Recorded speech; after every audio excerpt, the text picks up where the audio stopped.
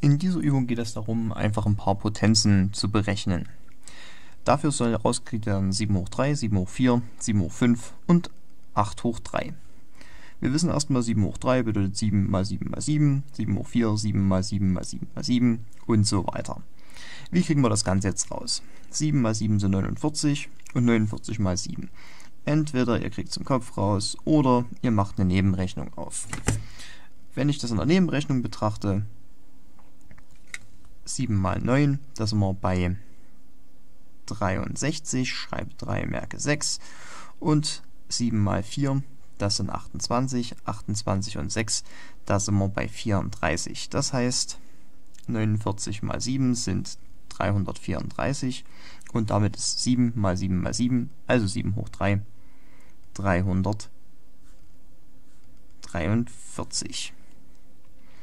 Jetzt will ich hier weitermachen. Ich möchte haben 7 mal 7 mal 7 mal 7. Wir wissen schon mal, 7 mal 7 mal 7, also das hier, ist 343. Das heißt, ich muss das wieder mit 7 multiplizieren. Mache ich wieder eine Nebenrechnung. Komme ich raus bei 3 mal 7 sind 21, schreibe 1, merke 2. 7 mal 4, das sind 28, 28 und 2 sind 30, schreibe 0, merke 3. Und 7 mal 3, das sind 21, 21 und 3 sind 24.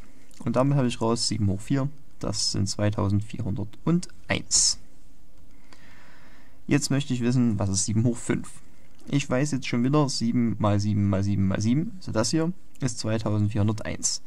Heißt, ich muss nur noch ähm, diese 2401 mal 7 rechnen. Das kann ich wieder schriftlich machen. Und ich komme raus bei 7 mal 1, das sind 7, 7 mal 0 sind 0. 7 mal 4 sind 28, schreibe 8, merke 2. Und 7 mal 2, das sind 14, 14 und 2 sind 16. Und damit weiß ich, 7 hoch 5 sind 16.807.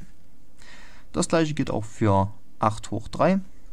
Vom Prinzip her, wir wissen 8 mal 8 ist 64 und jetzt muss ich noch rauskriegen 64 mal 8. Ich mache es wieder schriftlich. 4 mal 8, das sind 32, schreibe 2, merke 3. Und 8 mal 6, das sind 48. 48 und 3, da komme ich raus bei 51. Das heißt, 8 hoch 3 sind also 512.